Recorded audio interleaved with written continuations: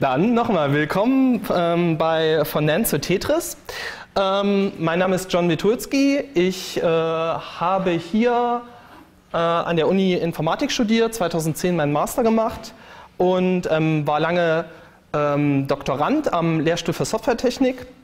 Und ähm, wir haben hier diese Vorlesung 2012 ins Leben gerufen, ähm, die auf einem Buch basiert von ähm, zwei israelischen Professoren, ähm, Noam Nissan und äh, Shimon Shoken, die ähm, dieses ganze Folienmaterial unter der Creative Commons Lizenz zur Verfügung stellen. Und ähm, wir waren damals sehr begeistert von diesem Kurs und hatten uns deshalb auch entschlossen, ähm, das zu machen. Denn dieser äh, Kurs hier bietet eine Reise durch die Informatik und lehrt einem im Großen und Ganzen, wie ein Computer funktioniert. Wir fangen bei den elementarsten Grundschaltungen an, bei NAND-Gattern, also fast über der Transistorebene, bauen uns dann Schritt für Schritt ähm, elementare Rechenschaltungen, logische Schaltungen, arithmetische Schaltungen, ähm, verstehen, wie funktioniert eigentlich ähm, das Rechnen in einem Computer, wie ähm, funktioniert ein Prozessor und all das bauen wir in einem Projekt, wir schreiben dann später für eine Maschinensprache, die wir selbst entwickelt haben, einen Assembler, einen Compiler, eine Virtual, Machi Virtual Machine, ähm, eine Hochsprache und ein kleines Mini-Betriebssystem. Wir machen das in zwölf Schritten, wobei ich das hier ein bisschen komprimieren werde.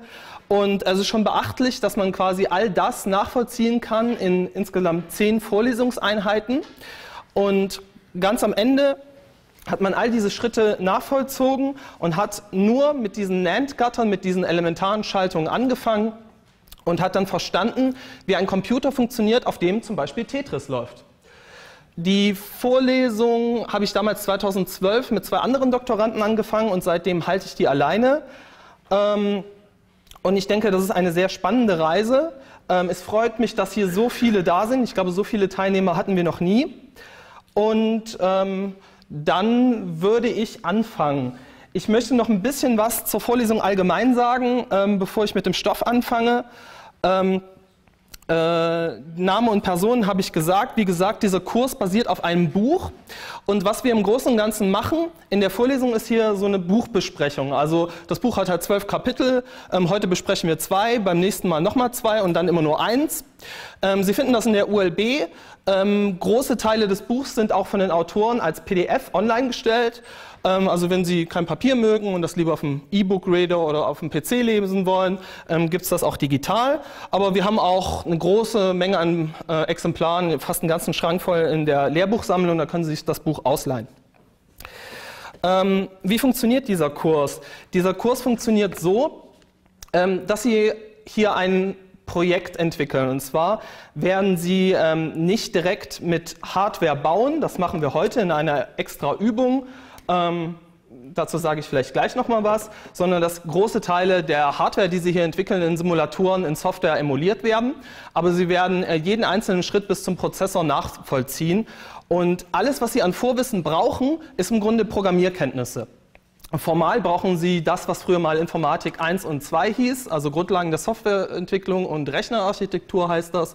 Wenn Sie jetzt so im vierten Semester sind, wenn Sie im höheren Semester sind, kennen Sie das wahrscheinlich noch als Info 1 und 2. Aber rein fachlich, um hier mitzukommen und etwas zu verstehen, fängt man wirklich bei dem Lerngatter an und braucht nur noch die Programmierfähigkeiten und dann hat man diesen ganzen, diese ganzen Schritte nachvollzogen.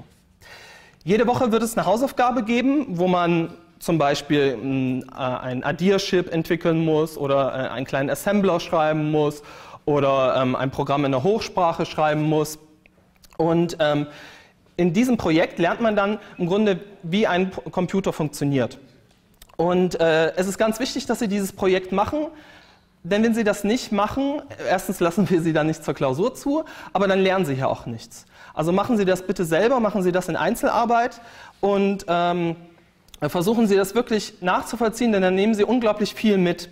Ähm, der Vorteil diese, dieser Kurs hier hat gegenüber anderen Kursen, er ist so ein sehr allgemeiner Kurs, der alle möglichen Gebiete ein bisschen ähm, berührt und ähm, anders als andere Vorlesungen, die sich sehr spezialisiert auf ein Thema ähm, konzentrieren, weiß ich nicht, Rechnernetze, Betriebssysteme, was auch immer, ähm, bekommt man hier einen gesamten Überblick.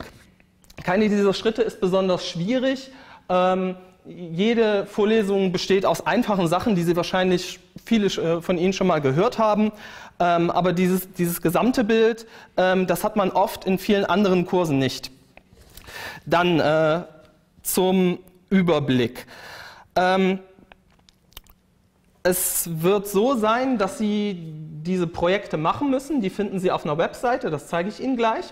Und Sie müssen die Projekte abgeben an Herrn Thelen, der mich unterstützt bei dieser Vorlesung. Ja, jetzt hat er einmal gewinkt. Ähm, und ähm, geben das ab an eine E-Mail-Adresse alexander.thelen.hu.de, die Sie hier sehen. Und äh, das erste Projekt müsste dann bis 7. Mai abgegeben werden. Ähm, wie gesagt, die Projekte und die Hausaufgaben, das zeige ich Ihnen gleich noch auf der Webseite. Das ist äh, nantotetris.org, das habe ich noch nicht angeschrieben, das mache ich gleich. Und ähm, der Bewertungsmodus wäre bei mir schon, ein paar Leute sehe ich, die hatten bei mir die Vorlesung Compilerbau gehört letztes Semester. Wir machen denselben Modus wie damals im Compilerbau vor, vor ein paar Monaten. Ähm, wenn man das Projekt bearbeitet hat, ähm, aber nicht alles richtig ist, ähm, aber man hat gezeigt, man hat Zeit investiert und sich damit beschäftigt, dann ist das okay. Das heißt, es kommt wirklich nur ähm, ein Okay oder nicht Okay zurück. Das heißt, wenn jetzt jemand eine leere Datei abgibt oder ähm, in dieser Hardware-Beschreibungssprache quasi nichts gemacht hat, dann ist das natürlich nicht in Ordnung. Aber alles, was irgendwie ähm, als bearbeitet gilt, ähm, ist in Ordnung. Es geht uns nur darum, dass Sie sich mit, mit, dem Projekt wirklich beschäftigen. Viel nehmen Sie natürlich nur mit, wenn Sie es vollständig lösen. Aber wir sind da ähm, sehr locker, ähm, was, was, diese Bewertung angeht. Was nicht geht, sind ähm, Plagiate und Abschreiben. Ähm, da behalten wir uns vor, äh, Leute auszuschließen. Ähm, ja, das wird dann jede Woche abgegeben und das ist ganz am Ende gibt es dann eine Klausur. Ich werde die ähm, an den 24. Juli in die letzte ähm, Vorlesung hier äh, reinsetzen. Wenn es bei dieser Teilnehmerzahl bleibt, schreiben wir wahrscheinlich in zwei Hörsälen und nicht nur hier. Das müssen wir dann sehen. Äh, in die E-Mail, ähm, was dann da reinkommt, das sind entweder Ihre Programme oder Ihre Hardware-Beschreibungen äh, in einem Anhang. Und da schreiben Sie bitte als Betreff äh, NAND to Tetris und dann Projekt und die entsprechende Nummer, also Projekt 1, Projekt 2.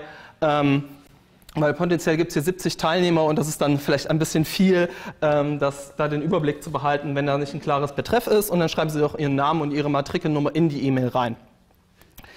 Ähm, so viel zur Zulassung. Am Ende gibt es, wie gesagt, eine schriftliche Klausur.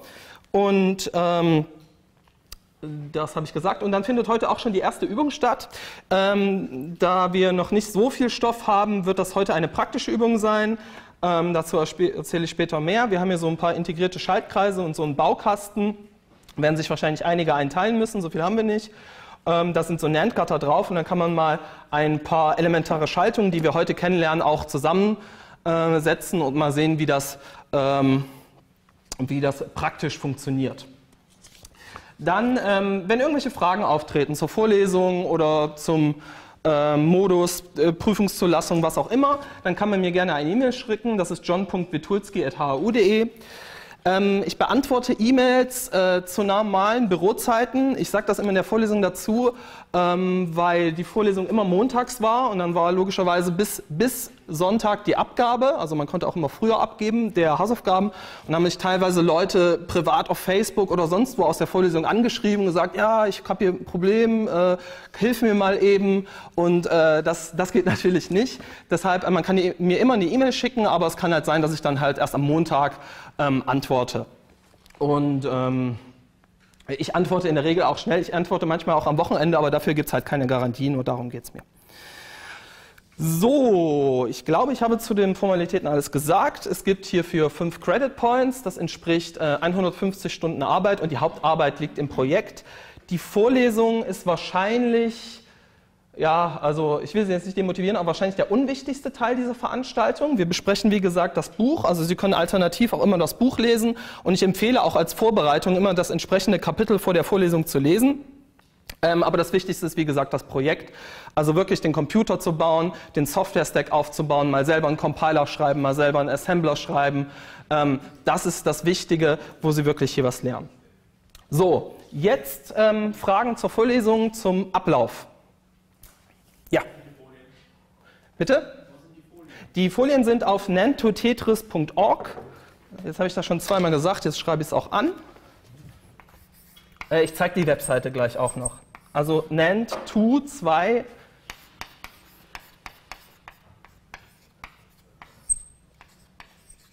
Das ist wie gesagt von diesem Herrn ähm, Nissan und den Herrn Schoken äh, zur Verfügung gestellt und da findet man auch Projekt, äh, das Projekt und die ähm, Software, mit der man die Hardware emulieren kann.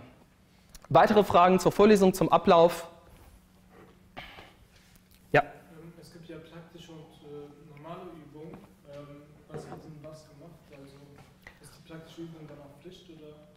Ähm, also die Termine ähm, werden wir beide mit Übungsgruppen belegen. Äh, der Seminarraum ist klein. Eine werde ich leiten, das wird heute 12.30 Uhr sein. Ähm, Im Raum 2512 0255, das ist der Seminarraum von der Softwaretechnik. Ähm, und die andere um 14.30 Uhr wird der Herr Thelen leiten. Ähm, heute machen wir nur Hardware, also ich, man darf es ja immer nie dazu sagen, aber das wäre nicht klausurrelevant, aber ich glaube, das ist eine einmalige Chance, mal so mit NAND-Kartern was zusammenzubauen. Also ich würde empfehlen zu kommen und hoffentlich verteilt sich das auch so ein bisschen auf die Übung, dass nicht eine super voll und eine sehr leer ist. Und ähm, das mit, äh, also die, das ist zu, das zu den Terminen, da finden halt, findet die zweite Übung statt. Und das, was als praktische Übung läuft, das ähm, hat was mit der Anrechnung von diesen Credit Points oder Leistungspunkten heißen, hatten die zu tun. Das ist einfach dieses Projekt, was man zu Hause macht. Das ist auch vom, vom, vom Arbeitsaufwand das meiste. Die Vorlesung ist sehr seicht, meiner Meinung nach, und sehr einfach nachzuvollziehen, also nicht, nicht so arbeitsintensiv. Ja. Ach, ich habe noch nichts zur Aufzeichnung gesagt. Ja, also einige haben es mitgekriegt. Ja, äh, es wird aufgezeichnet und mit viel Glück ist das immer am nächsten Tag ähm, online. Es, also ich freue mich natürlich, wenn es hier voll ist und ich, nur, ich nicht vor drei Leuten rede, aber wenn jemand meint, ähm, dass, er das von, dass er das von zu Hause sehen möchte, dann kann er das gerne tun. Ja, ähm, mit etwas Glück am nächsten Tag kann aber auch länger dauern. Ähm, das würde ich dann noch sagen, wo das äh, zur Verfügung gestellt wird. Ich sage es nochmal, damit man es auf dem Video hört, mediathek.hu.de. Äh, dann hat man es. Ah, sehr sinnvoll. okay, bitte. Nein, nein. Es ist, äh, ähm, man muss nur zu einer Übung gehen. Es gibt weder Anwesenheitspflicht in der Vorlesung noch in der Übung. Man kann auch zu gar nichts gehen. Aber wie gesagt, das Projekt ist sehr wichtig und ich glaube, gerade wenn man das Projekt wenn man da Probleme hat und was nicht äh, auf die Reihe bekommen hat, ist die Übung sehr sinnvoll, weil ja dann die richtige Lösung besprochen wird. Ähm, ja, ich, ich habe mich jetzt entschieden, nicht eine große Aufteilung zu machen. Ich hoffe, das löst sich irgendwie spontan durch so, so eine spontane Ordnung, dass die, die Übungen gleich voll sind. Ähm, ansonsten, wenn es gar nicht geht, muss ich dann irgendwie eingreifen. Also kommen Sie bitte zur Übung. So, nichts mehr hierzu. Dann würde ich mal anfangen. Also ähm, das hier ist die Einführung, das sind die Einführungsslides. Äh, alles ist auf Englisch. Ähm, diese Slides, also das sind so 26 Folien, die so ein bisschen Überblick über die Vorlesung ähm, geben. Und es geht jetzt nicht darum, dass man alles, was man auf diesen Folien sieht, ins Detail versteht. Teilweise ist da gleich oben noch ein roter Kasten. Sie müssen jetzt nicht alles verstehen, sondern es geht darum, einen Überblick zu bekommen, was hier in dieser Vorlesung passiert, damit Sie für sich einen Eindruck bekommen, ist das was für mich? Also es ist sehr abstrakt, wenn ich sage, Sie lernen hier, wie ein Computer funktioniert. Ähm, aber wenn ich jetzt ein paar Slides zeige, bekommt man, glaube ich, einen besseren Eindruck, ob diese Vorlesung für Sie interessant ist oder auch nicht. Ähm, und nur darum geht es jetzt. Also, ähm, oh, da ist der Mauszeiger. Also, worum es hier geht, ist natürlich ähm, zu verstehen, wie funktioniert eigentlich so eine Hardware, also wie funktioniert das hier, was wir hier sehen, ähm, wie funktioniert das Softwaresystem, ähm, was macht das und wie greifen eigentlich die einzelnen Komponenten ineinander. Und ähm, was machen wir in der Informatik? Wir machen das immer so, dass wir ein sehr komplexes Problem, nämlich ich baue einen Computer, wo Tetris drauf läuft, aufteilen in einzelne Teilschritte, so dass wir das gesamte Problem dann äh, lösen können. Denn jeder Teilschritt für sich alleine wird sehr einfach sein. Und ähm, was natürlich auch wichtig ist, have fun. Ich glaube, das ist eine sehr interessante Vorlesung, deshalb haben wir das gemacht, ähm, die übernommen äh, von diesen zwei israelischen Professoren. Ähm, also ich persönlich äh, fand es immer sehr interessant. Und ähm, wie funktioniert das? Also man baut halt so einen General-Purpose-Computer, das wird so eine 16-Bit-Maschine sein, ähm, in einzelnen Projekten. Man simuliert die Hardware in so einer Hardware-Beschreibungssprache, das sehen wir dann nachher, wie das aussieht. Und ähm, man wird auch dazu eingeladen, wenn das Projekt gelöst ist, auch so ein bisschen damit rumzuspielen. So, was passiert eigentlich jetzt, wenn ich die Leitung anders lege oder wenn ich äh, in meinem Compiler dies oder jedes andere anders mache? Denn dann lernt man sehr viel dabei. Achso, äh, generell, wenn ich hier davon renne mit der Geschwindigkeit, dann muss man mich stoppen und man kann auch Fragen stellen. Ich mache immer mal ab und zu Pause, so dass man ähm, Zwischenfragen stellen kann. Dann, ähm, es gibt zwölf Projekte. Das ist bei uns nicht so, dass man das in Paaren abgehen kann. Also es wird Einzelabgaben geben, weil das ein großer Beitrag ähm, zu diesen fünf Credit Points ist, den man, die man bekommt. Es gibt zwar am Ende auch eine Klausur, aber wichtig ist, dass man das Projekt gemacht hat. Ähm, man muss halt diese zwölf Projekte machen. Und diese Hardware-Projekte, die ersten fünf der zwölf Schritte, ähm, werden, also genau genommen nur die ersten vier, ähm, werden in so einer Hardware-Beschreibungssprache ähm, niedergeschrieben und laufen dann in einem Simulator. Da gibt man dann an, wie die entsprechenden Schaltungen und die Eingänge verdrahtet sein müssten und dann läuft das und dann sieht man, ob das Ergebnis, ähm, ob man die richtige Lösung hat oder nicht. Dann ähm, die anderen Projekte ähm, werden so laufen, ähm, dass man ähm, Software schreibt. Äh, das übernehmen wir auch, was hier auf den Folien steht, als dritter Bullet Point. Ähm, wir lassen die Programmiersprache frei. Also wir raten auch, dass man Java nimmt und nicht was komplett Verrücktes. Ähm, aber ähm, wir hatten auch schon Leute, die sehr kuriose Sachen genommen hatten. Also ich hatte mal einen Assembler, der war in SQL geschrieben. Es gab Leute, die haben alles in Prolog gemacht. Haskell gab's und dann Sachen, die vielleicht nicht so ähm, also die nicht, nicht verrückt sind, aber ungewöhnlich sind, wie Kotlin oder so etwas, oder Swift gab es Leute, die das in Swift geschrieben hatten. Ähm, das ähm, können Sie gerne machen, sprechen Sie das einfach mit uns ab und ähm, dann können Sie das gerne, die, die Hausaufgaben in, Ihren, in Ihre Lieblingsprogrammiersprache lösen. Ähm, also Sie können auch einfach Java nehmen, ähm, das ist natürlich auch in Ordnung. Und wie funktionieren diese Projekte? Also man bekommt im Großen und Ganzen so eine API vorgegeben, also eine Aufgabenstellung. Ähm, dieser Chip soll addieren, dieser Chip soll jenes oder ähm, was auch immer machen, and, or, irgendetwas berechnen. Und dann bekommt man Tests dazu und dann gibt man halt ähm, im Hardware-Fall halt seine HDL, seine Hard ähm, Hardware-Beschreibungssprache, seine Lösung an und dann bekommt man dann Feedback, ob das richtig ist. Und das ist auch das, was man dann per E-Mail abgeben würde an Herrn Thelen. Ähm, und die Implementierung, die Umsetzung, das ist halt dann Ihre Aufgabe.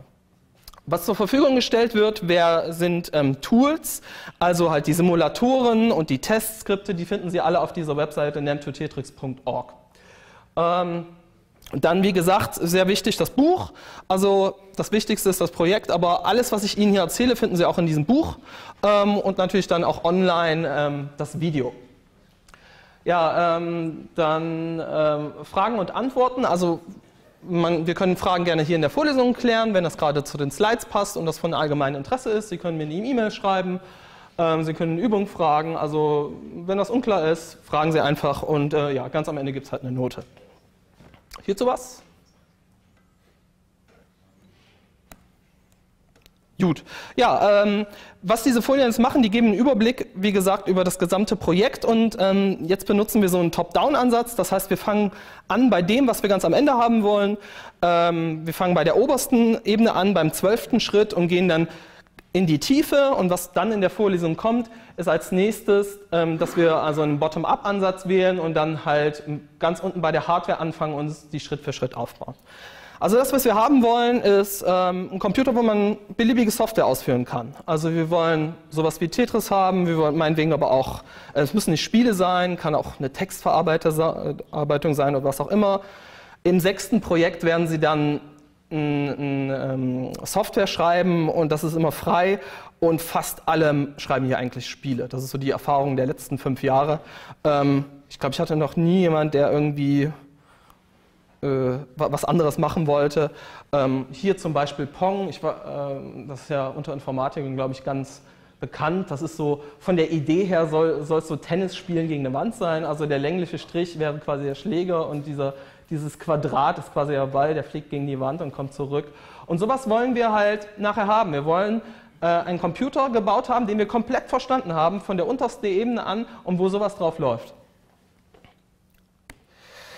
Und ähm, das ist so ein Gesamtüberblick über die gesamte Vorlesung. Ähm, was ganz oben steht, ist halt der menschliche Gedanke, sowas wie ich will Tetris haben, ich will Pong haben, ich will Pac-Man haben, was auch immer. Und ähm, dann ähm, gehen wir immer weiter in die Tiefe, bis wir unten bei der Physik angekommen sind. Der, ähm, Im 9. und im 12. Kapitel werden wir uns mit einem Hochs einer Hochsprache und einem Betriebssystem beschäftigen.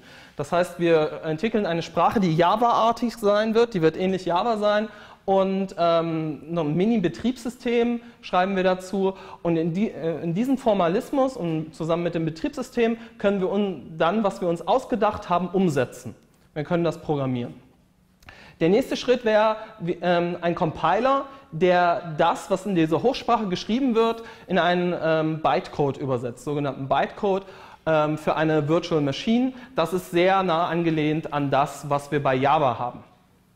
Dann untypisch, normalerweise sind äh, Virtual Machines ähm, nicht Übersetzer, sondern Interpreter. Wir werden hier so einen Übersetzer bauen, der diesen Code von dieser Virtual Machine in eine Assembler-Sprache übersetzt und theoretisch müsste jeder hier Info 2 und das entsprechende Praktikum gemacht haben. Also zum Beispiel, zumindest Assembler sollte man schon gehört haben. Wenn nicht, besprechen wir das dann halt im sechsten Kapitel.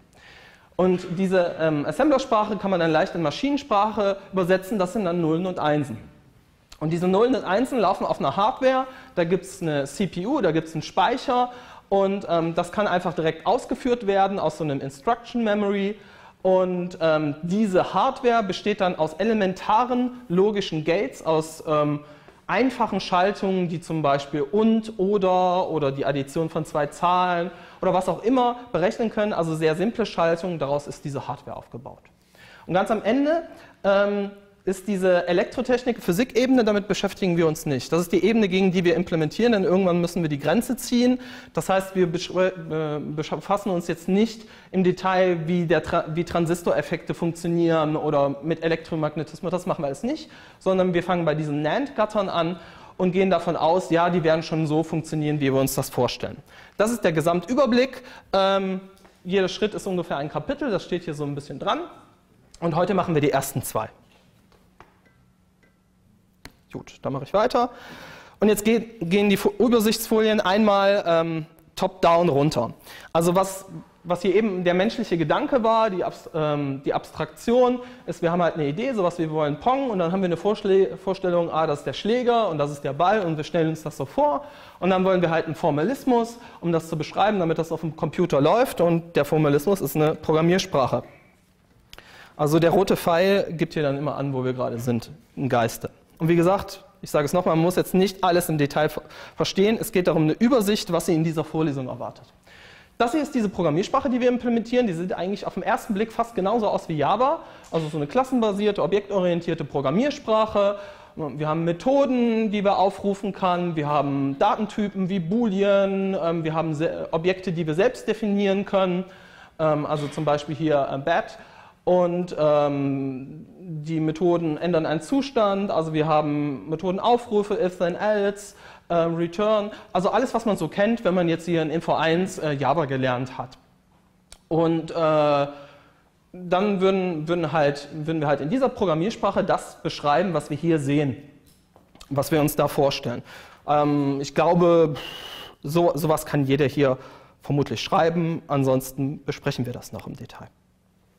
Ja, und dann gibt es ähm, das, Entschuldigung, ich gehe einen zurück, ähm, das hier, was hier eben so gelb eingereiht war. Es gibt so ein paar Sachen, die bekommt man bei der Programmiersprache mit. Bei Java ist es die umfangreiche Klassenbibliothek, aber auch die geht irgendwann gegen ein Betriebssystem. Hier hat man jetzt als Beispiel genommen, man greift irgendwie auf den Bildspeicher zu und kann so ein Rechteck zeichnen und das ist halt dann irgendwie ist man dann an einem Punkt, das macht man halt nicht mehr in dieser Programmiersprache, sondern das ist eine Methode, die ruft man einfach auf und die macht das dann. Und das ist dann ähm, das, was wir hier Betriebssystem nennen. Das ist eine Mischung aus Betriebssystem und Klassenbibliothek, die zum Beispiel ein Rechteck zeichnen würde und hat dann wieder eine Methode drawPixel, äh, die dann entsprechend aufgerufen wird. ja. Ach so, ja, ich, ich gestikuliere lieber hier rum, ähm, aber her, herzlichen Dank für den Hinweis. Okay, weiter. Ähm, jetzt äh, nähern wir uns der Hardware, also sowas wie Mäusen. Als erstes kommt hier der Compiler. Auch das hier ist, erschlägt einen vielleicht als Grafik, so wenn, wenn man sich noch nicht damit beschäftigt hat. Wie gesagt, es geht um einen Überblick. Was halt ein Compiler tun soll, ist ähm, die Übersetzung von einer modernen Programmiersprache. Die Programmiersprache, die wir schreiben, wird Jack heißen, da oben ähm, ganz fett gedruckt und übernimmt einen Übersetzungsvorgang ähm, von dieser Programmiersprache, die wir als Menschen noch gut verstehen können, in eine Darstellung, äh, ein, in Bytecode, in diese WM-Ebene, die wir als Menschen schon nicht mehr so gut verstehen können und die schon sehr ungeeignet ist, um darin Computerprogramme zu schreiben. Aber wir müssen ja ganz am Ende etwas produzieren mit diesem Software-Stack, was eine Reihe von Nullen und Einsen ist, die die Hardware direkt ausführen kann.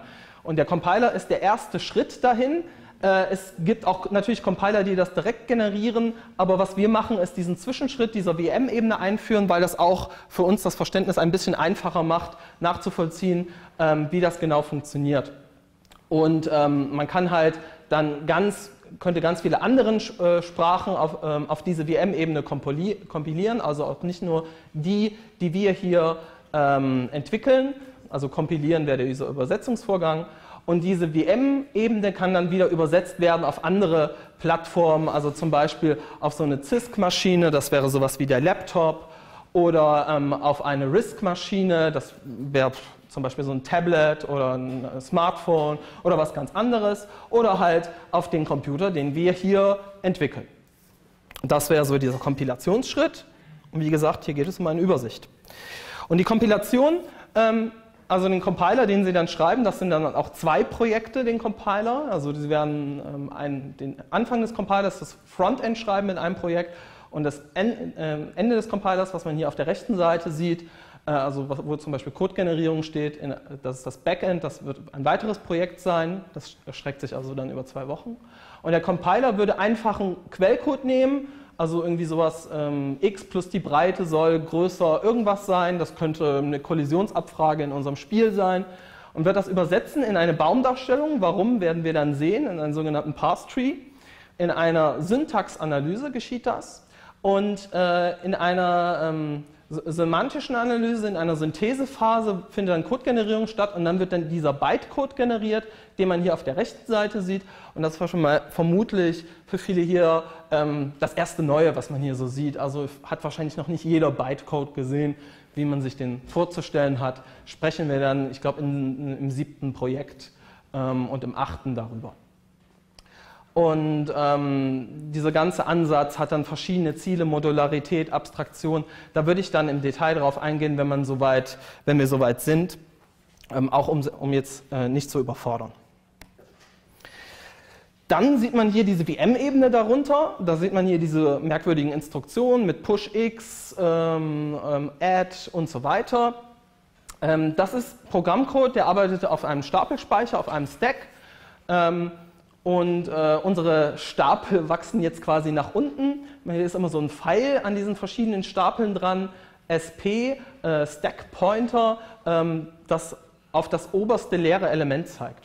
Und ähm, auch hier, wie gesagt, es geht nur um eine Übersicht. Da, diese High-Level-Instruktion, die wir hier oben sehen, mit if und let ist ein Keyword, was es speziell in Jack geben wird, ist übersetzt, äh, wird übersetzt in dieses, äh, diese Instruktionen hier. Ähm, Vielleicht für den einen oder anderen sieht das schon Assembler-artig aus, ähm, es ist aber Bytecode. Und ähm, hier sieht man in den Kommentaren ähm, für die einzelnen Statements, für die Instruktionen S1 bis S11, ähm, welchen Effekt ähm, die auf einen Stapelspeicher hätten. Wenn man hier in Grau unterlegt die zwei Variablen der Breite und x sieht, die haben halt einmal den Wert 450 und einmal 75. Und dann hätte man zum Beispiel nach der zweiten Instruktion ähm, mit diesen Push-Instruktionen auf dem Stapel diese beiden Werte liegen. Und nachdem dann eine Addition ausgeführt würde, würde dort dann im vierten Schritt 525 stehen. Man würde dann mit Push 11 einen weiteren Wert drauflegen. Dann würde man einen Vergleich der Werte machen. Also dieses GT prüft, welcher Wert der größere ist und würde dann eine 0 oder eine 1 auf den Stack legen. 0 für falsch, 1 für wahr, äh, beziehungsweise für true oder false. Und dann geht das dann so weiter und dann gibt es auch noch Programmflows mit GoTo-Instruktionen, wo man zu so Sprungmarken springen kann. All das schauen wir uns später an. Dann sind wir hier und dann wollen wir langsam Assembler und auch Maschinensprache generieren.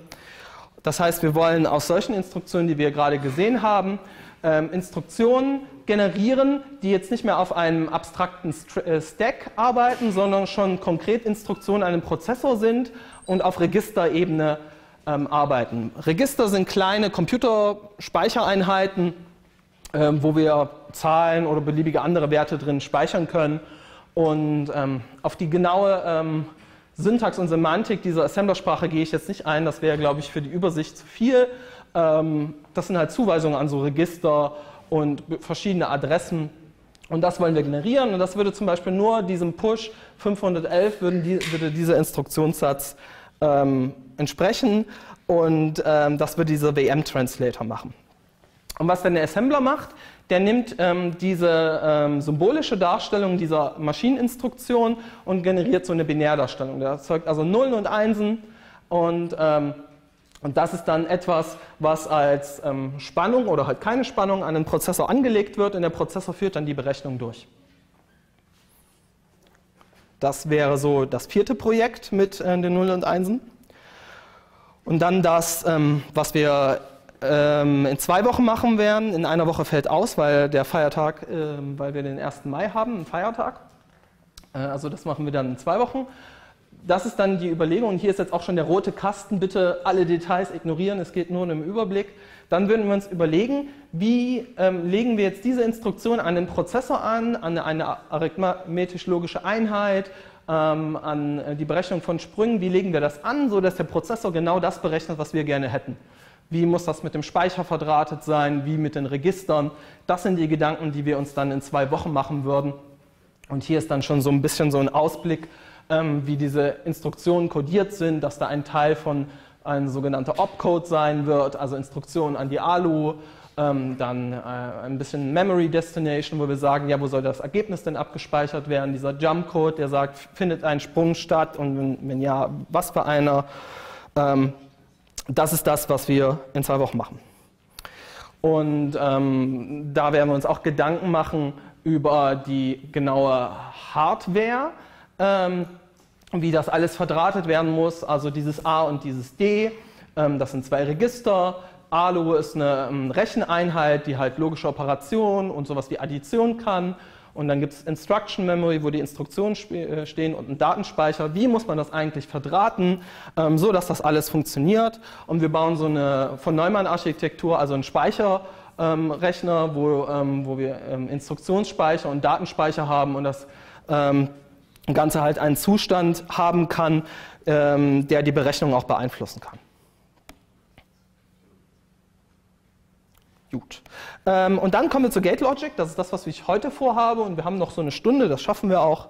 Ähm, das ist halt ähm, einfache Kombina äh, kombinatorische Logik, dass wir einfache Schaltungen nehmen, ähm, so ein Halbaddierer, das werden wir dann sehen, was das ist, zusammen ähm, verdrahten, um dann so eine ALU zu bauen. Das wird das zweite Projekt sein.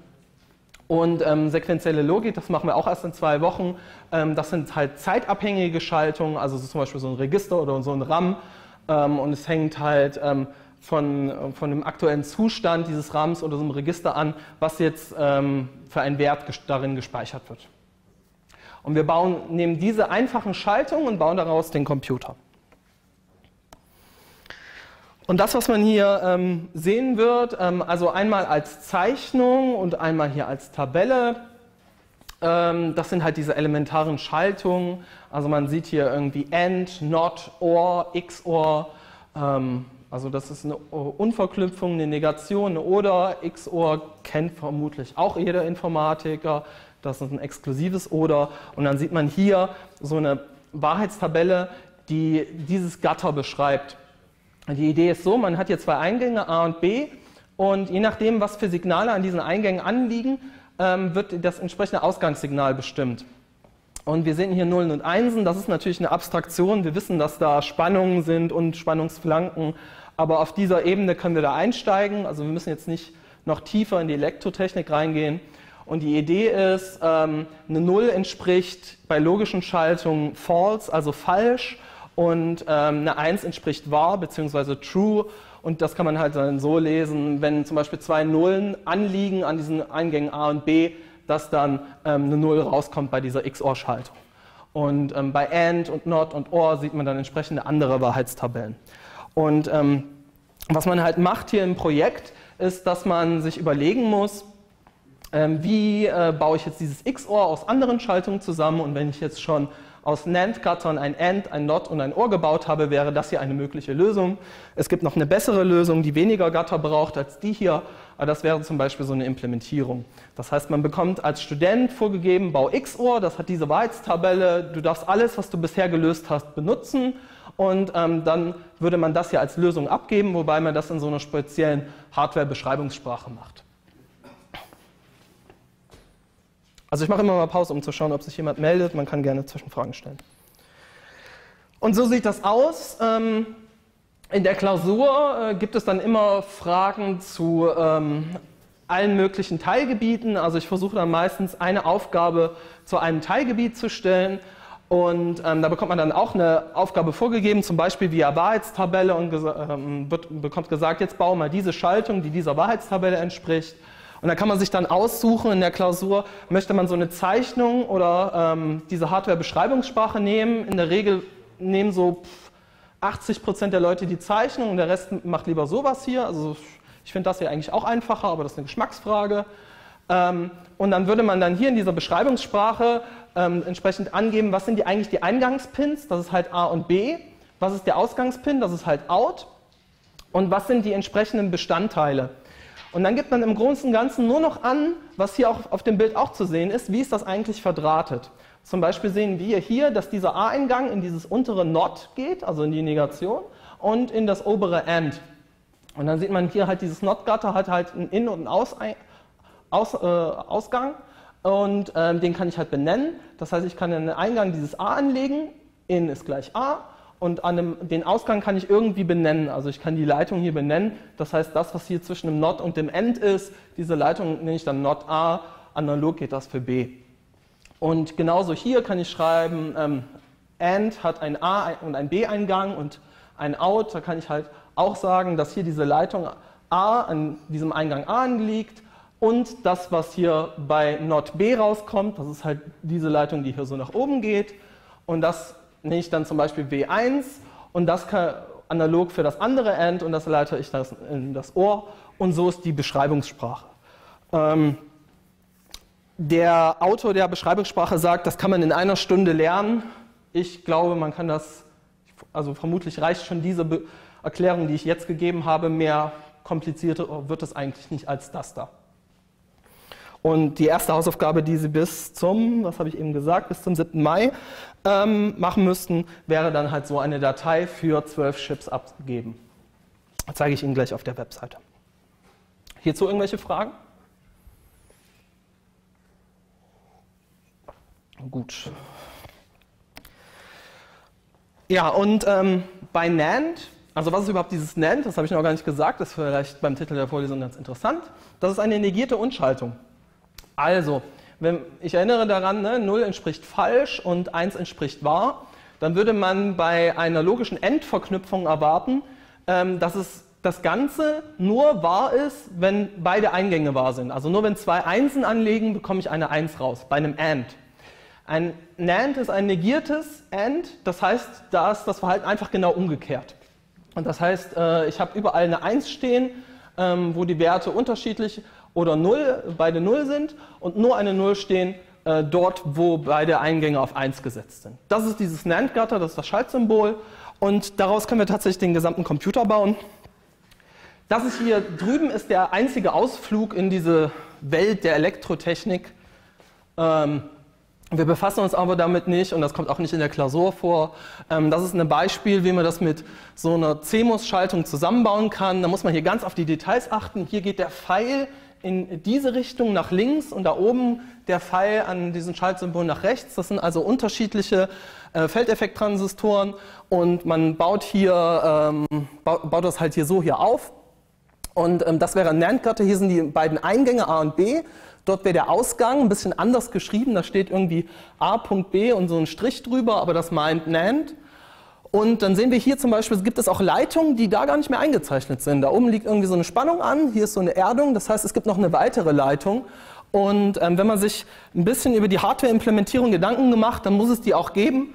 Und wenn man dann ähm, heute das ähm, mal zusammensteckt, sieht man auch, dass man da irgendwie immer noch eine zusätzliche Leitung braucht, um das Ganze mit Strom zu versorgen.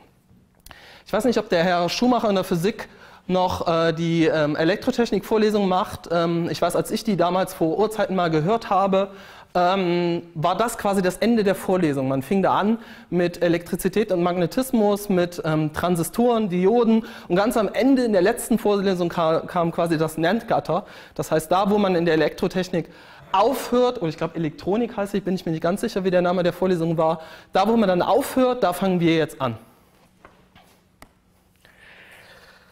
Ja, also das war so ein bisschen diese Übersicht, die man hier gesehen hat. Ähm, das heißt, so ein bisschen Eindruck geben, wohin wird die Reise gehen, was wird einen hier erwarten in der Vorlesung. Ähm, ich würde jetzt einsteigen mit ähm, Bursche Logik, ähm, Fragen soweit zum Ablauf.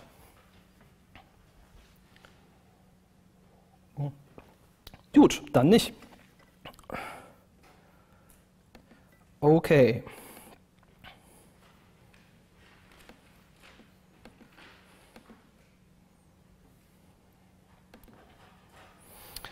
Okay, also das Einfachste, was wir machen wollen, ist ähm, Logik implementieren. Also wir wollen Schaltungen, die einfache ähm, Logik umsetzen können. Wenn wir später äh, in Hochspro äh, Hochsprachen, in der Programmiersprache haben, sowas wie ifs and else, wenn dies so ist, bitte Computer tue dies, ansonsten das, dann brauchen wir in irgendeiner Form Logik. Wir müssen so etwas wie Unverknüpfungen, Negationen, so etwas müssen wir umsetzen können. Ähm, wie können wir das hier definieren? Also wenn man hier oben zum ersten Mal auf der linken Seite das ansieht, äh, da gibt es hier irgendwie so vier elementare Schaltungen, Negation, AND, OR und NAND.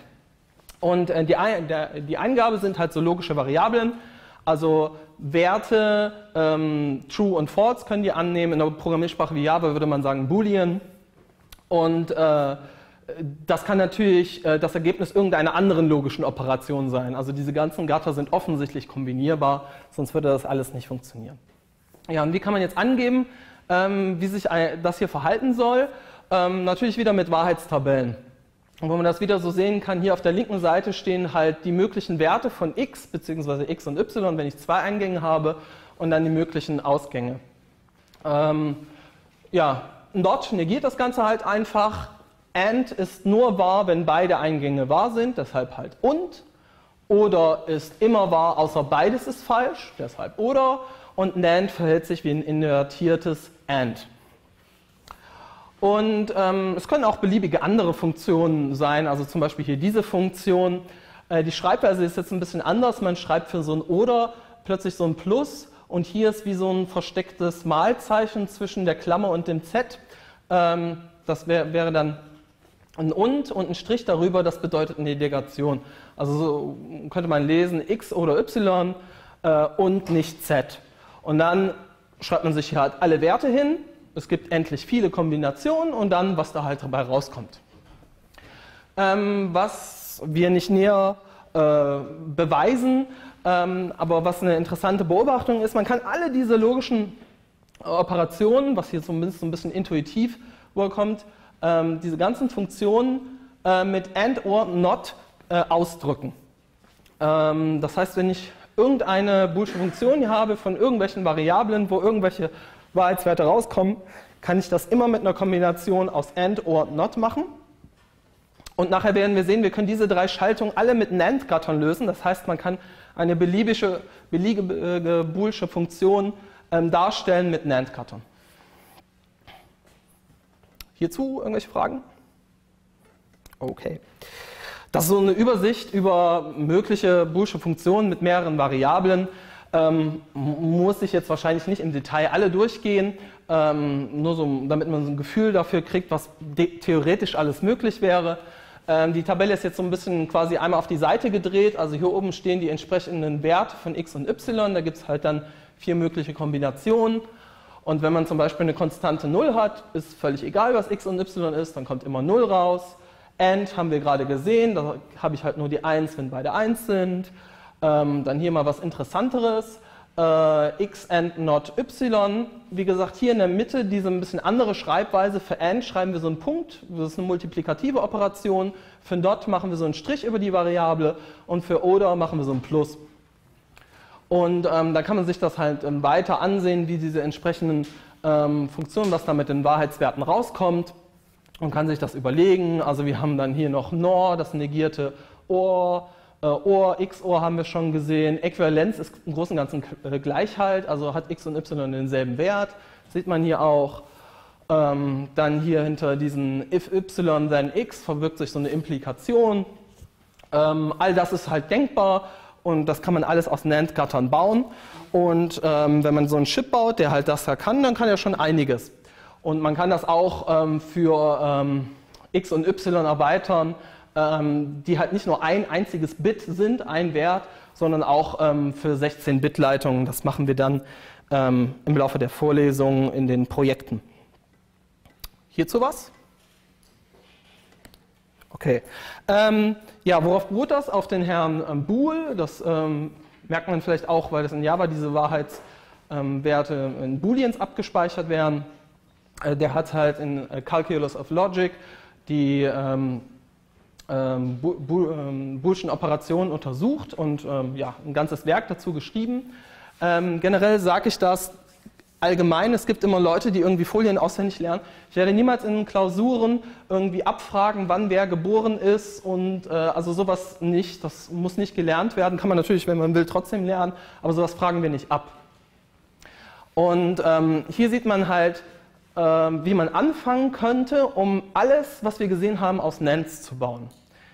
Der erste Schritt, der ist ein bisschen, der ist vielleicht nicht offensichtlich. Also wenn ich beide Eingänge, ähm, ähm, den Eingang A auf das NAND-Gatter lege, dann ist, entspricht das einer Negation.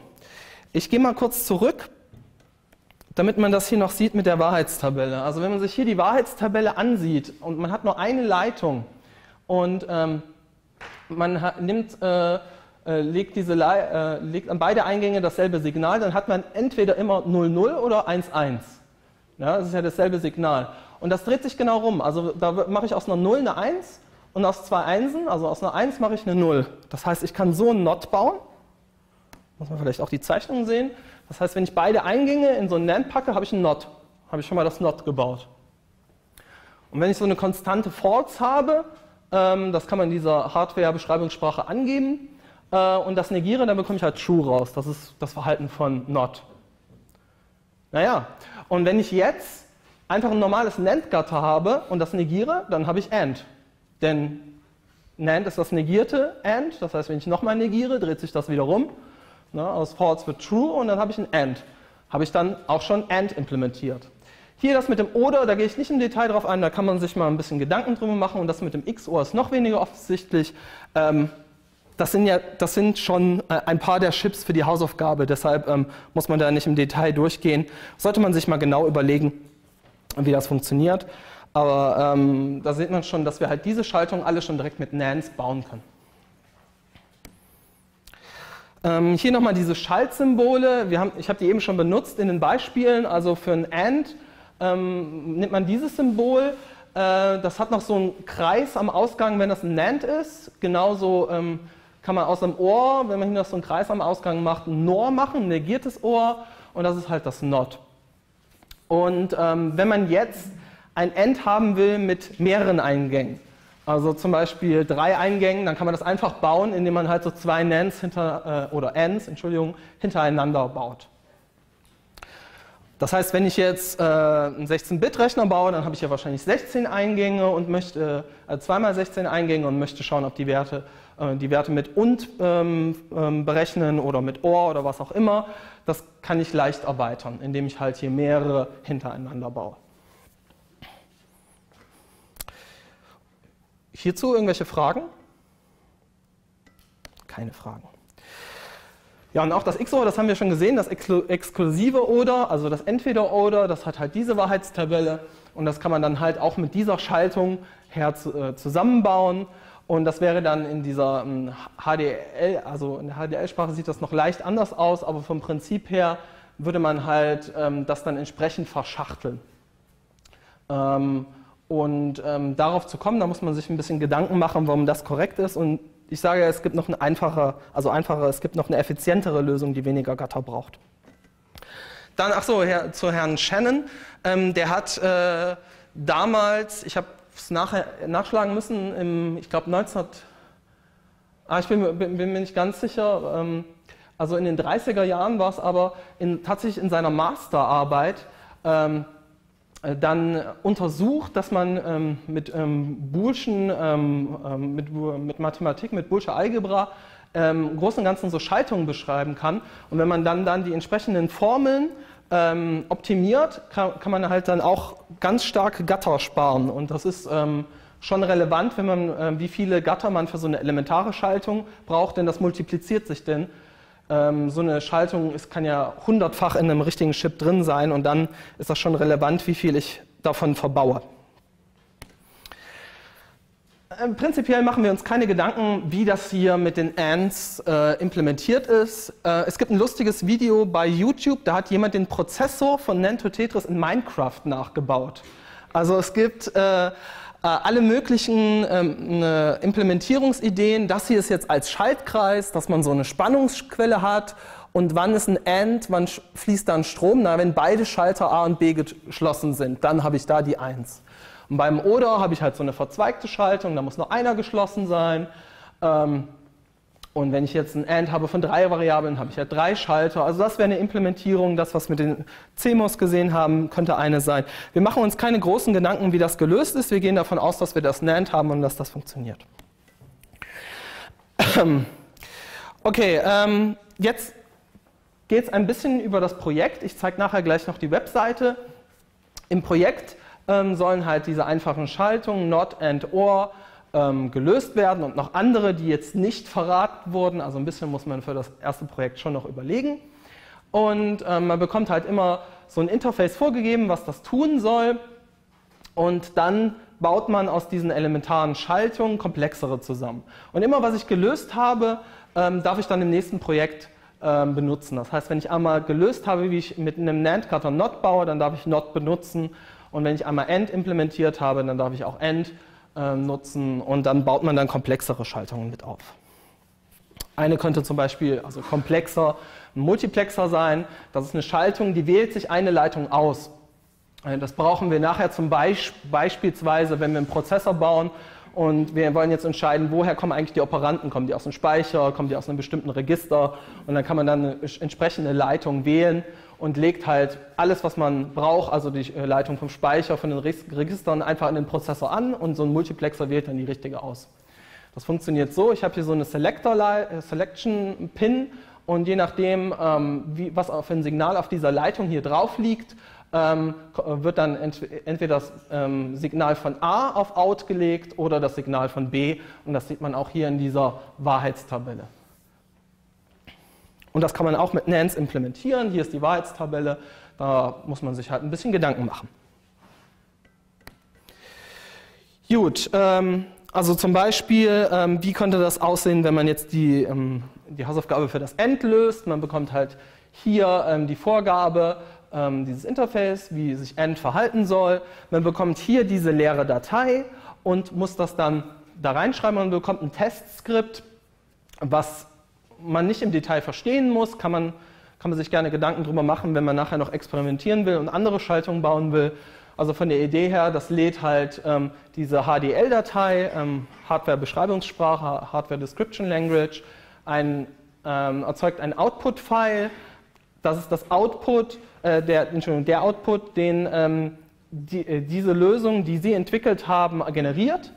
Dann ein Compare-File mit der richtigen Lösung und dann vergleicht es das einfach und ähm, das ist dann das eigentliche Skript, das setzt halt Pins, äh, setzt halt alle möglichen Kombinationen auf A und B und ähm, führt dann so ein Eval aus, also so, ein, so eine Auswertung.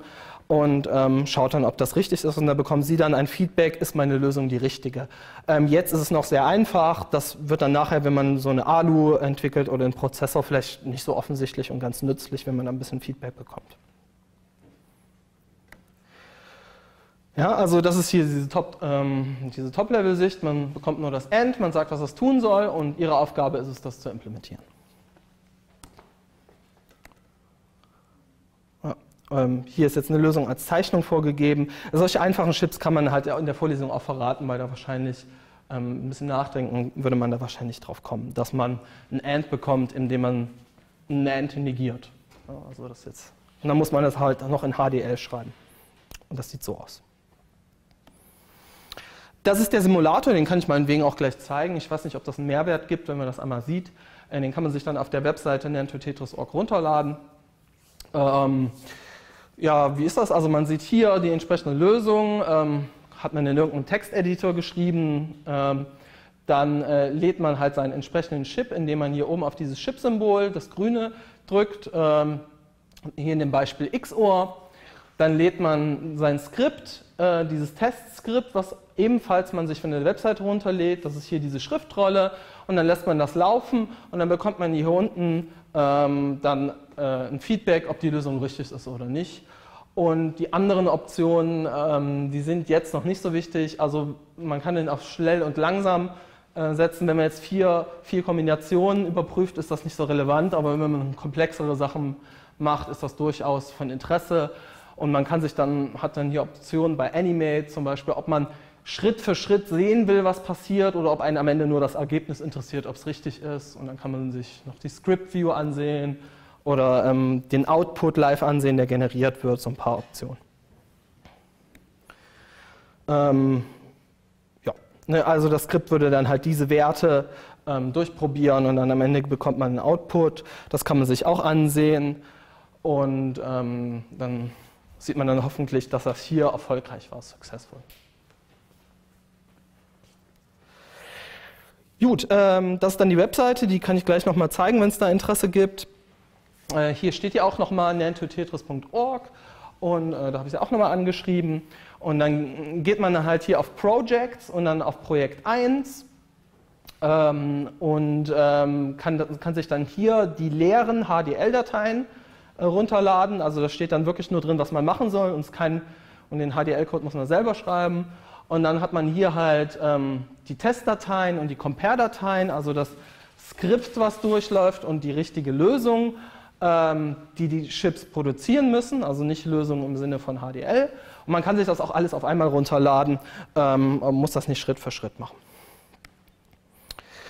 Ja, ähm, wie löst man das? Wie kommt man hier mit der Hausaufgabe zurecht? Ähm, ich hoffe, die Vorlesung hilft dabei. Ansonsten sollte man sich hier dieses Buch durchlesen. Die Kapitel sind alle recht kurz und beschränken sich immer nur auf das Wesentliche, denn wir haben ja Großes vor. Wir wollen am Ende einen Computer bauen, wo alle mögliche Software drauf läuft und dann kann man halt nicht immer so ins Detail gehen. Ähm, man sollte sich diese ähm, Software runterladen, diese Simulator.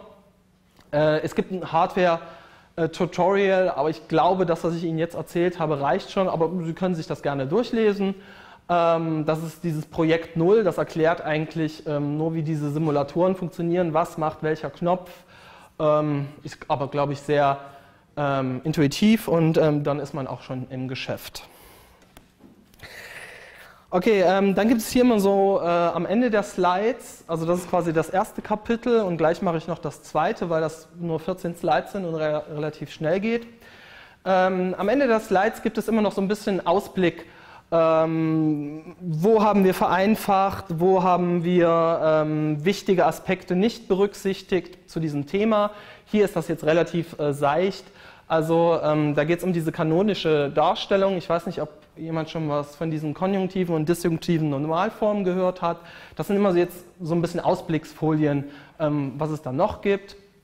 Und man kann halt das, was eben schon auf Slides drauf war, man, man kann mit AND, NOT und OR eine beliebige boolsche Funktion ähm, darstellen. Man kann damit alle Schaltungen bauen.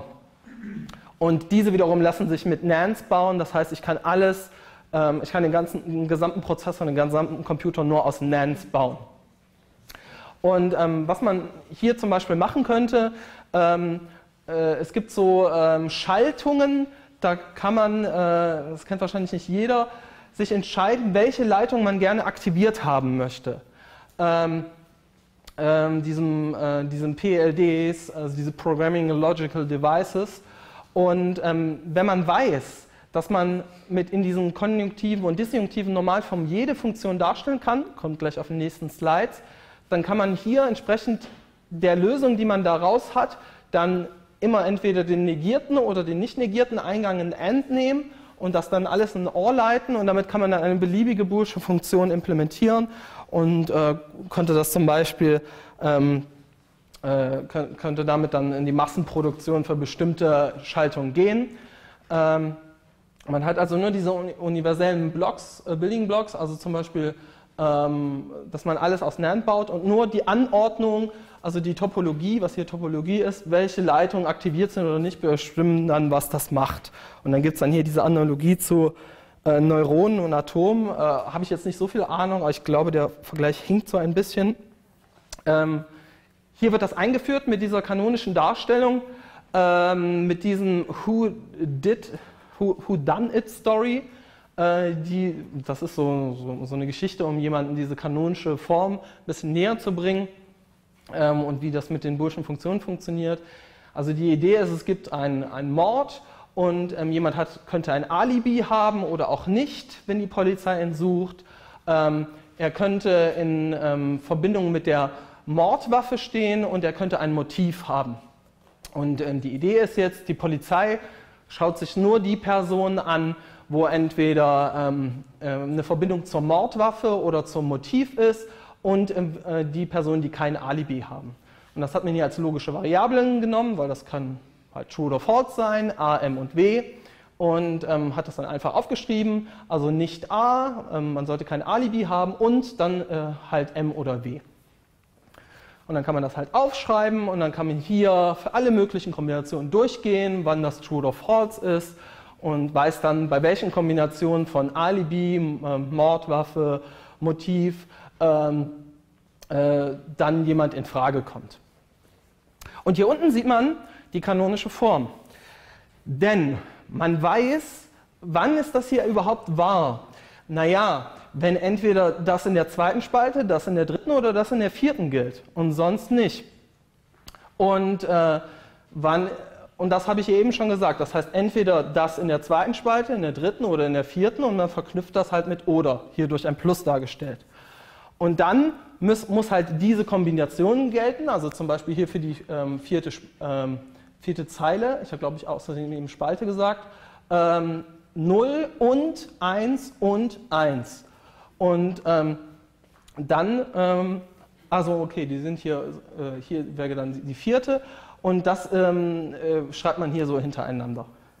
Und wenn man das sieht, dass man ja für jede ähm, Funktion, also zum Beispiel für, diese, für dieses Whodunit-Problem, so eine Tabelle aufstellen kann und das hier eintragen kann, ähm, dann ist auch klar, dass man mit diesem Ansatz hier, dass man sich halt die Terme mit 1 rauspackt und für jeden einzelnen das hinschreibt, was hier oben halt steht, dass man dann mit diesem Ansatz, mit dieser kanonischen Form ähm, eine beliebige äh, Boolsche Funktion implementieren kann.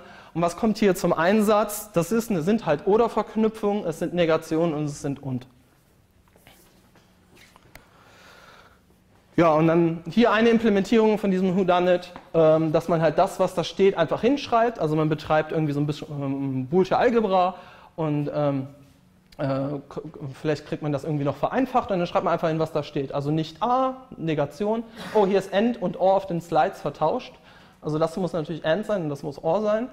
Und ähm, dann leitet man das halt entsprechend in das OR und das Ganze dann in das AND. Also man muss hier, wenn man das aufschreibt, dann natürlich noch die Klammerung beachten und dann entsprechend die Leitung richtig setzen. Oder man macht hier halt diese kanonische Form und dann nimmt man halt für jeden diesen Ter dieser Terme ähm, die Negation oder auch nicht der entsprechenden Variablen und ähm, leitet das in ein AND. Ja, das sieht man hier, also A und M ist zum Beispiel negiert, da sind da zwei Nots und W nicht und dann geht das in das AND und für die anderen beiden analog und dann geht das in ein OR. Also das, was ich gerade beschrieben habe, und ähm, das, was wir eben mit den ähm, PLDs gesehen haben, das wäre eine Möglichkeit, dass man dann automatisch ähm, bestimmte Leitungen setzen kann oder nicht. Ähm, ja, also das, was man hier gesehen hat, hier dann farbig dargestellt, muss man jetzt im Detail nicht noch nachvollziehen. Ich glaube, das ist klar. Und dann hier halt die Analogie, ähm, dass das Gehirn so ähnlich funktioniert und man ähm, dann noch äh, Neuronen nachbilden kann. Ähm, ja, das ist dann wirklich schon ein bisschen out of scope von dieser Vorlesung. Das wäre Bullsche Logik. Ich würde zur Arithmetik übergehen, außer es gibt jetzt noch Fragen.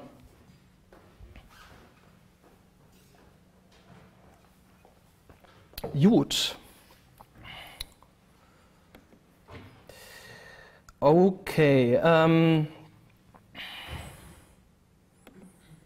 das ist falsch. Was will ich zeigen? Ah, ich glaube, ich muss die Webseite nicht zeigen. Ich, ich kann es vielleicht gleich am Ende machen, wenn es da Bedarf gibt. Aber ich meine, die URL steht da und sich Sachen von der Webseite runterladen ist jetzt nicht so schwer. Okay, also wir haben uns jetzt Gedanken gemacht, wie können wir einfache logische Schaltungen bauen und das wäre das erste Projekt. Und was ebenfalls bis zum 7. Mai wäre, wäre auch das zweite Projekt. Das ist aber ähnlich komplex. Ähm, ich finde also ich es relativ einfach. Das Einzige, was hier eigentlich schwierig ist, ist die Alu zusammenbauen, aber das ist auch nicht so ein großer Zeitaufwand. Wir wollen jetzt Gedanken machen, wie wir rechnen können. Das heißt, wir überlegen uns, wie stellen wir Zahlen dar, wie ähm, addieren wir die. Das kennen vermutlich fast alle gehe da entsprechend schnell drüber. Und dann, wie bauen wir das in Hardware? Ja, also das kennen wir ja, weiß ich nicht, aus der ersten Klasse. Wenn wir zählen lernen, dann lernen wir halt diese Quantitäten kennenlernen. Ich weiß nicht, wann die Null eingeführt wird, ob man das auch in der ersten Klasse so lernt. Und ähm, dann lernt man halt, wie man das mit entsprechenden Ziffern darstellt. Da es unendlich viele Zahlen gibt, gehen uns irgendwann die Ziffern aus, deshalb kombinieren wir die. Und wenn wir im Zehner-System sind, fangen wir halt bei der zehnten Ziffer, die 0 ist auch eine, dann ab äh, an hier so ähm, Symbole zu kombinieren. Und das geht halt im Binärsystem auch so, das kennt wahrscheinlich auch jeder, deshalb muss ich jetzt hier nicht so im Detail drüber gehen. Da haben wir halt nur zwei Ziffern, 0 und 1. Das heißt, schon wenn wir die Zahl 2 darstellen wollen, brauchen wir hier eine zweite Ziffer und dann geht das halt dann auch systematisch so hoch. Ähm, ich glaube, das kennen alle. Was wir aber auch wissen, es gibt unendlich viele Zahlen, aber es gibt nur endlich viel Computerspeicher. Das heißt, es gibt immer irgendeine Zahl, die wir nicht darstellen können. Irgendeine Zahl ist zu groß. Ähm, wenn wir hier zum Beispiel davon ausgehen, wir haben einen Speicher, wo drei Bits reinpassen, dann haben wir hier ab der Darstellung der 8 ein Problem. Ähm, die Speicherzelle, das Register, was wir bauen, ähm, wird ein 16-Bit-Register sein, aber das Problem bleibt ja. Es tritt nur später auf.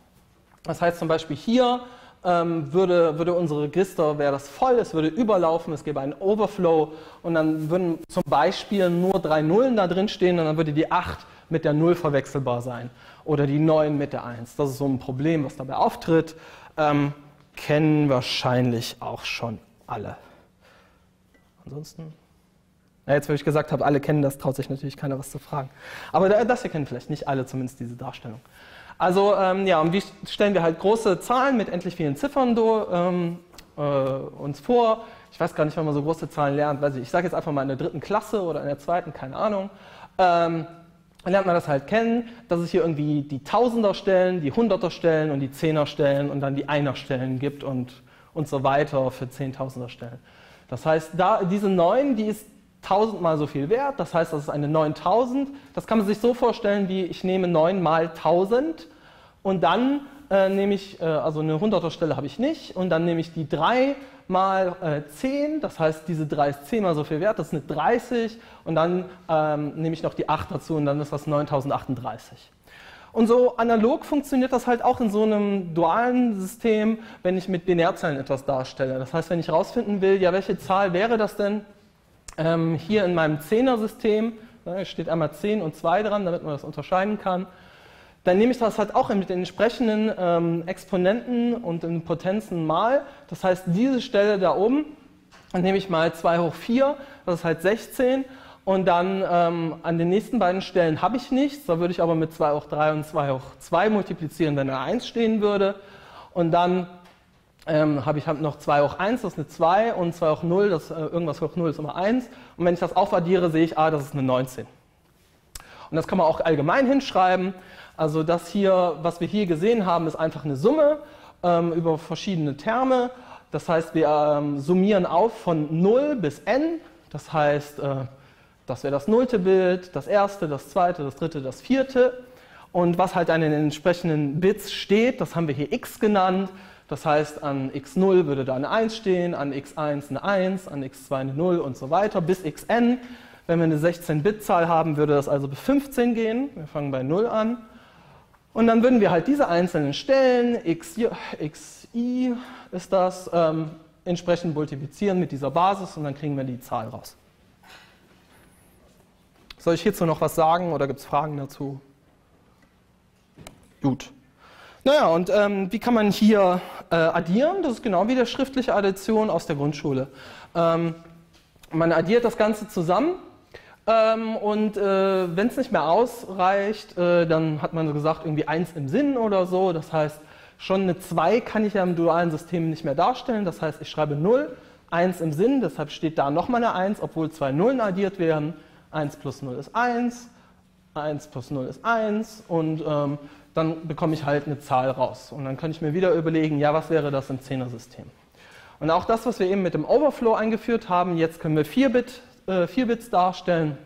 Und wenn die äh, 1 hier drüber fällt und nicht mehr dargestellt werden kann, dann haben wir uns verrechnet.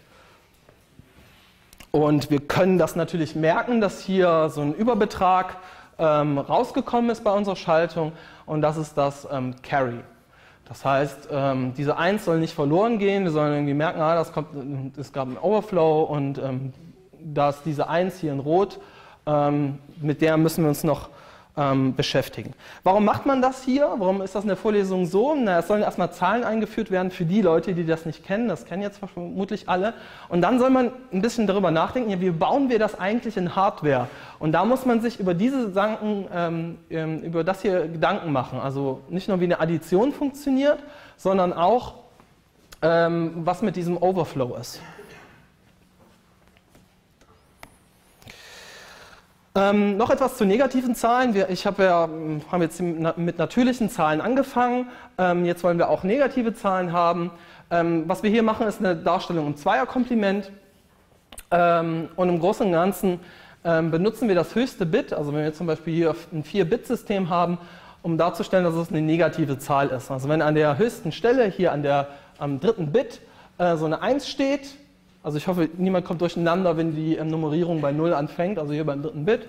Eine 1 steht, das ist eine negative Zahl und ähm, entsprechend ähm, wäre, äh, wäre dann hier, ähm, wenn ich äh, vier Einsen hintereinander habe, dann ist das die Minus 1 und so weiter. Ähm, wie kann man jetzt rauskriegen, dass das die Minus 1 ist? Ähm, man kann alle Bits invertieren und 1 äh, dazu addieren äh, invertieren bedeutet, alle Nullen werden durch Einsen getauscht und alle Einsen durch Nullen. Und dann addiert man halt eins drauf mit der schriftlichen Addition, die wir eben gesehen haben. Und ähm, dann bekommt man die negativen Zahlen raus. Der Vorteil ist, ich kann einfach so eine negative Zahl nehmen, das drauf addieren und das funktioniert direkt. Ähm, das heißt, wenn ich 2 äh, minus 5 rechnen will, dann ist das dasselbe wie 2 plus minus 5. Das ist das, was da steht. Und dann bekommt man auch die minus 3 raus. Das heißt, wir müssen uns keine Gedanken machen, wenn wir einmal die Addition gelöst haben, haben wir die Subtraktion direkt mitgelöst, nur durch unsere Zahlendarstellung. Was wir haben wollen, ist ein Addierchip äh, für einen 16-Bit-Rechner. Das heißt, da kommen 2 mal 16 Leitungen rein. Also man stellt sich das jetzt so vor, als wären hier 32 Eingänge. Und ähm, das ist halt mit diesem Schrägstrich und diese 16 so angedeutet. Und da kommt ein 16-Bit-Ergebnis raus, was der Summe der beiden Zahlen entspricht. Und ähm, wenn wir das als Ziel haben, ähm, lösen wir zuerst den Halbaddierer, der 2 Bits addieren kann, dann den Volladdierer, der 3 Bits addieren kann, der berücksichtigt dann noch dieses Carry und dann einen Addierer, der n Bits addieren kann, also eine beliebige Anzahl. Also wir machen das nur, erstmal nur für Bits und dann können wir das für 16 Bit. Das erste, was man hier sieht, ist der Halbaddierer. Ähm, hier ist die Wahrheitstabelle und es gibt jetzt zum ersten Mal zwei Ausgänge. Also eben hatten wir immer nur einen Ausgang, jetzt haben wir immer zwei. Ähm, hier zuerst die Addition, also 0 plus 0 ist 0 in blau, dann 0 plus 1 ist 1, 1 plus 0 ist 1 und 1 plus 1 ist 2, das können wir nicht darstellen, das ist also 0, 1 im Sinn und deshalb ist die hier rot das Carry gesetzt. Das ist die Schaltung, die wir implementieren wollen und da müssen wir uns dann Gedanken machen, gibt es vielleicht Schaltungen, die wir im ersten Projekt gelöst haben, die uns hierbei helfen. Man kann es auch, wenn man will, komplett in NANDs bauen, aber es gibt eine einfache Lösung. Ähm, vielleicht erkennt man ja einige Funktionen hier in Blau und in Rot wieder. So. Und der Volladdierer, der ähm, würde halt nicht nur ähm, sich mit den zwei Zahlen, die addiert werden, ähm, mit A und B äh, befassen, sondern auch noch einen dritten Eingang haben, diese Carry-Leitung, ähm, diesen Überbetrag und was ist die Idee? Man kann verschiedene Volladdierer hintereinander ähm, packen, sodass Überbeträge immer weitergereicht werden und niemals verloren gehen. Und ähm, da ergibt sich dann halt diese Wahrheitstabelle, das kann man sich dann im Detail ansehen. Und ähm, es ist, äh, man kann Volladdierer zum Beispiel mit Halbaddierern lösen, muss man sich dann Gedanken machen, ähm, wie das geht. Das ist ein Trick, den hatten wir ja auch schon bei den äh, Ends gesehen, auf den letzten ähm, Foliensatz wo wir drei Eingänge bei einem AND hatten. Ja, und wie macht man das für einen 16-Bit-Addierer? Naja, man äh, kann einfach von diesen Addierern, die zwei Bits addieren können, man benutzt die, um einen 16-Bit-Addierer zusammenzubauen. Auch das ist Teil des Projekts, deshalb bin ich jetzt so in meiner Erklärung ein bisschen nebulös, da muss man sich ein bisschen Gedanken machen. Ist aber nicht, äh, nicht besonders schwer, darauf zu kommen.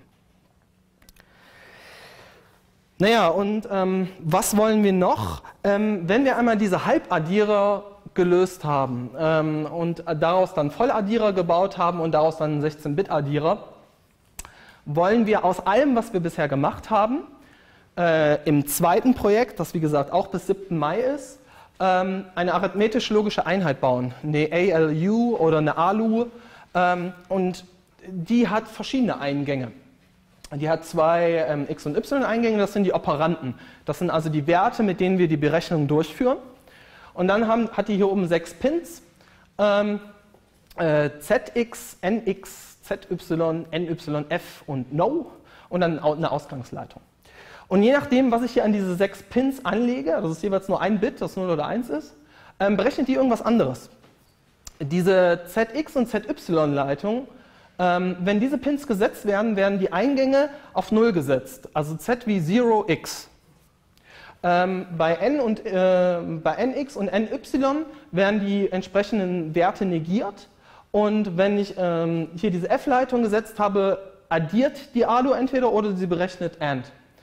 Und hiermit mit No kann ich noch den Ausgang negieren. Und was sehr überraschend ist, wenn man jetzt hier diese Addierer hat, aus denen man diese ALU bauen kann, und diese logischen Schaltungen, also AND, OR für 16-Bit, dann kann man alle möglichen Funktionen implementieren. Also man kann ähm, also mit so wenig Aufwand, man kann addieren, ähm, subtrahieren, 0, 1, minus 1 erzeugen, man ähm, kann äh, die entsprechenden Werte, also die Zahlen ähm, negieren oder man kann eine logische äh, Negation bilden, also NOT ähm, man kann eins dazu addieren, abziehen oder und oder oder machen. Noch andere Funktionen, also man, ähm, wir, wir, brauchen nur die, aber man kann noch andere Funktionen sich überlegen, ähm, wenn man möchte. Also das ist dann wieder dieser Teil, wo man eingeladen wird, damit zu experimentieren und zu überlegen, was über die Hausaufgabe, die ich leisten muss, ist hier noch interessant, was äh, kann man damit machen.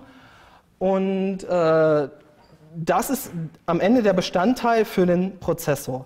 Wie sieht das aus im Projekt? Hier sieht man auch nochmal eine riesige Wahrheitstabelle mit allen möglichen Kombinationen von diesen sechs Pins und was dann entsprechend bei dem Eingang rauskommt. Ähm, damit befasst man sich dann, wenn man die Hausaufgabe macht und deshalb habe ich gesagt, das ist das einzige von, von den zwei Hausaufgaben, also den zwei Projekten, die Sie bis 7. Mai machen müssen, die ähm, was ein bisschen aufwendiger ist, was, wo man vielleicht ein, zwei Stunden dran sitzt, bis man das hat. Vielleicht einige sind wahrscheinlich schneller, aber so vom Prinzip.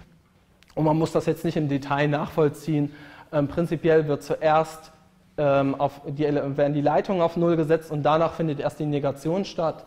Und ähm, der entscheidende Trick ist, dass man am Ende alles berechnet und sich mit diesen Multiplexern, wenn Sie sich erinnern an die letzten Slides, wo man sich bestimmte Leitungen wählt, dass man sich dann die entsprechenden Ergebnisse rauspickt, ähm, mit diesen, je nachdem, was die entsprechenden Pins ähm, für Werte haben. Und das würde dann so, aus, ähm, so funktionieren, dass ich halt dann ähm, sechs Pins habe, die, die hier eben genannt wurden, also dieses NX und so weiter. Und das ähm, äh, hier heißt das schon C1 bis C6, weil das schon nah ist an diesen Opcodes, die wir dann in der Assembler-Sprache entwickelt werden, aber da sollte man sich nicht irritieren lassen. Und die Idee ist so, ähm, ich habe halt diese ALU gebaut, das ist Projekt 2. Mit, den, mit einem Multiplexer überlege ich dann, welches Register will ich oder will ich was aus dem Arbeitsspeicher, je nachdem, ob dieser A-Pin gesetzt ist. Und ähm, dieses D-Register liegt fest an der ALU an. Und ähm, damit habe ich schon fast einen Prozessor, ähm, weil ich hier Speicher verdrahtet habe. Ich kann alle elementaren Berechnungen machen. Und ähm, was dann hier rauskommt, kann ich wieder in den Speicher leiten oder in andere Register. Und damit kann ich schon elementare Rechenoperationen durchführen. Das ist so ein bisschen der Ausblick. Ich mache mal kurz Pause, nicht, dass ich jemand abgehängt habe. Und das ist schon die Perspektive, aber wir haben auch nur noch zehn Minuten. Ähm, also wir haben letztendlich hier uns angesehen, dass wir so eine ALU, was ja schon relativ komplexe Berechnungen kann, diese arithmetisch-logische Einheit, die ein großer Schritt auf dem Weg zum Prozessor ist, dass ähm, wir das alles mit ähm, machen können, indem wir einzelne einfache Schaltungen zu komplizierteren Schaltungen zusammenbauen. Ähm, auch äh, haben wir ähm, viele Sachen, die man hier noch machen könnte, also Parallelität oder sowas haben wir komplett übersprungen. Wir haben ein ganz einfaches Design ähm, und auch diese Addierer kann man noch weiter optimieren. Und ähm, was auch wichtig ist, wir haben ähm, nur die einfachsten Operationen, also sowas wie Multiplikation und Division ist schon nicht mit dabei. Äh, das können wir aber später in Software lösen. Also man kann ja multiplizieren, indem man eine Schleife addiert und analog geht das für Division mit Subtraktion. Und das ist halt so ein typischer Hardware-Software-Trade-off. Also ähm, wenn ich eine einfache Hardware haben will, muss ich das halt später in Software lösen. Ähm, wenn, ich, äh, wenn mich das stört, dass ich das in Software lösen muss, was weiß ich, aus Performance-Gründen, dann habe ich halt das Problem, dass ich hier ähm, eine komplexere Hardware haben muss. Da muss ich mich dann am Ende entscheiden. So, und die letzte Slide, also es gibt hier immer so ein bisschen, ähm, ein bisschen Historie ähm, dieser Leibniz-Calculator, ähm, ähm, also mein deutscher Leibniz ist, glaube ich, hier im Begriff, das ist der Herr da oben, der hat so einen mechanischen, ähm, so eine mechanische Rechenmaschine gebaut und die wird so, also die funktioniert äh, nach ähnlichen Tricks, ähm, wie wir jetzt unsere Alu bauen würden. Die konnte, konnte zwar auch Multiplikation, also die konnte nicht nur Plus und Minus, sondern auch Mal und geteilt und die hat das tatsächlich so gelöst, dass ähm, bestimm bestimmte Addierglieder hintereinander geschaltet wurden und dann die Zahl geschiftet wurde. Also wenn man sich nochmal zurückerinnert, das können wahrscheinlich ganz viele nicht mehr, das lernt man irgendwie in der dritten Klasse, schriftliche Multiplikation, da vergisst es einfach, weil man es weil man nicht mehr braucht, wo man dann, weiß ich nicht, zwei größere Zahlen, dreistellige Zahlen oder zweistellige Zahlen multipliziert. Da funktioniert das auch so, dass man ähm, für die einzelnen Einer, Zehner und Hunderter Stellen die entsprechende Multiplikation ausführt, das untereinander schreibt und dann aufaddiert. Aber so immer versetzt. Und das meine ich mit Shifting. Und genau das wurde hier gemacht. Und wir hatten tatsächlich mal als Klausuraufgabe, ähm, also hier zu diesem Hardware-Teil, bauen Sie mal einen Multiplikationschip ähm, benutzen Sie Addierer und shiften sie. Und dann war das ganz einfach. Man musste einfach ein paar Addierer bauen, das richtig verkabeln und ähm, das Shiften hatte man durch das Verkabeln drin. Das war eigentlich eine sehr einfache Aufgabe. Und ähm, wir versuchen halt immer zu testen, kann, kann, hat derjenige, in der, also in der Klausur zu testen, hat derjenige das gelernt, was er im Projekt lernen sollte. Und das, die ersten beiden Projekte sind halt zu lernen, wie baue ich aus einfachen Schaltungen komplexere Schaltungen. Ja, und dann hat Leibniz ganz am Ende gemerkt, ähm, also später dann, ja, äh, das äh, ist ja im Zehnersystem, also das hier funktioniert im Zehnersystem mit Dezimalzahlen. Das ist, äh, ist ja eigentlich viel, viel einfacher, wenn ich das mit Binärzahlen mache, ähm, weil ich dann eine Zahl mit einem Schalter darstellen kann, je nachdem der Schalter gesetzt ist oder nicht, mit den Nullen und Einsen. Also das war damals schon eine Erkenntnis. Elektronische Computer gab es noch nicht. Und ähm, ich sage es nochmal dazu, also bitte nicht Jahreszahlen und sowas hier auswendig lernen, sowas frage ich sowieso nicht ab. Und was dann so die, die Idee war, ähm, in Wissenschaft, ähm, wissenschaftliche Literatur, ein Problem war es hier, was hier bei Challenge steht, dass man unterschiedliche Sprachen in der Wissenschaft hatte und man gerne eine Sprache, eine mathematische Universalsprache haben wollte. Und ähm, dieser Traum hat sich dann mit Turing und Gödel ähm, in Luft aufgelöst. Wer an unserem Lehrstuhl Informatik 4, theoretische Informatik hört, das müssten ja eigentlich sehr viele sein. Dazu kommt man dann später noch. Das soweit die ersten beiden Projekte. Ähm, gehen Sie auf die Webseite, laden Sie sich die Software und ähm, die entsprechenden Tools herunter und ähm, lösen Sie die beiden Projekte und geben Sie das bei Herrn Thelen an diese E-Mail-Adresse bis spätestens 7. Mai ab. Nächste Woche fällt es aus. Ähm, wir sehen uns am 8. Mai wieder und eins wollte ich Ihnen noch zeigen, um Sie vielleicht ein bisschen zu motivieren. Das hier sind so ein paar Screenshots von, ähm, von Spielen, die im Projekt 9 geschrieben wurden, von Studenten in den letzten Jahren. Also das sind Sachen, die werden auf den Computer, den sie, die sie später bauen, auch laufen. Also hat jemand einen Tetris gemacht, ich glaube, das Snake war von mir, ein Jump'n'Run, Space Invaders, Tic-Tac-Toe.